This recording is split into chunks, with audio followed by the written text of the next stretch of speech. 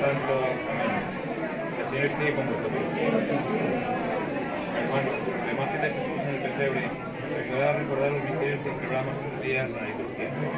Pidamos pues a Dios Padre que la contemplación de este Belén, con nacimiento, vida y su Hijo, que se ha hecho hombre para hacernos partícipes de su vida. Escuchad ahora, hermanos, la palabra del Santo Evangelio según San. En aquellos días José, era de la casa y familia de David, subió desde la ciudad de Nazaret, en Galilea, a la ciudad de David, que se llama Belén, en Judea, para inscribirse con su esposa María, que estaba encinta. Y mientras estaban allí le llegó el tiempo del parto, y dio a luz a su primogénito, lo envolvió en pañales y lo acostó en un pesebre. Palabra del Señor.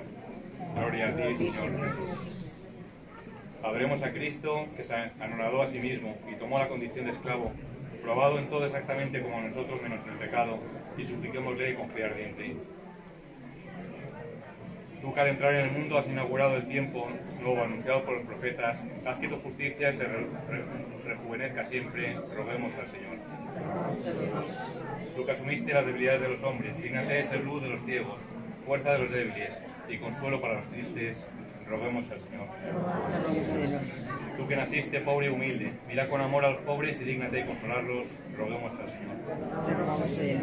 Tú que por tu nacimiento terreno anuncias a todos la alegría de una, vida sin fin, alegra a los agonizantes con la esperanza de un nacimiento eterno, roguemos al Señor. Tú que te hiciste hombre para que todos los hombres, de un confín al otro del mundo, contemplaran la salvación de Dios. Acuérdate de las familias que en estas fiestas de Navidad viven en soledad y dolor, y haz que sientan el consuelo de saberse hijos de la gran familia de Dios, roguemos al Señor. Señor Dios Padre, Señor Dios Padre nuestro, que tanto amaste al mundo que nos entregaste a tu Hijo único, nacido de María la Virgen.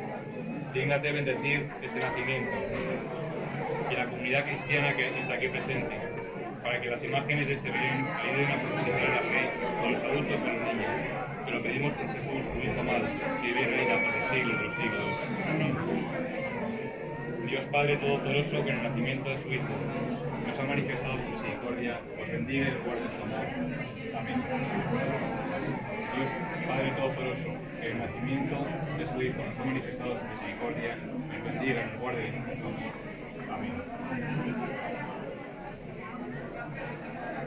Señor esté con vosotros. La bendición de Dios Todopoderoso, Padre, Hijo y Espíritu Santo, descienda sobre vosotros. Amén. Amén.